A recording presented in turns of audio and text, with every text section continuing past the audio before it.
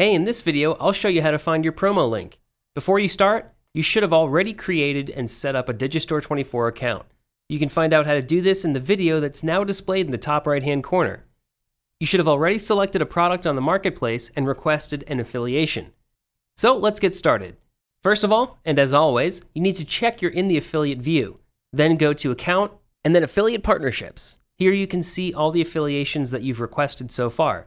In the column Affiliation Status, you can see if the vendor has already approved it. If they haven't done so yet, you'll see here that the affiliation is still pending or has been rejected. This is important because you can only earn money by promoting those products if the affiliation has been approved by the vendor.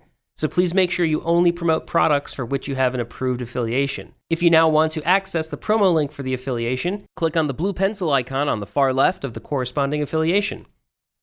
In this field here, you can copy the promo link and send it to any interested parties. For it to work, the URL at the beginning must, of course, be unchanged and the product ID must always correspond to the product being promoted, and your Digistore 24 ID must be entered correctly here. The only part you can safely change here is the campaign key. You can either omit it or use it to mark an advertising campaign of yours, for example, if you run a campaign on Facebook and then on your blog.